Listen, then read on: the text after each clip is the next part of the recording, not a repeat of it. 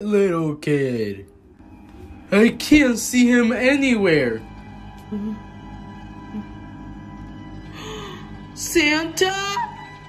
Nah, it's just me, nigga. What? Oh, I hate you, Chef Peepee. I hate you.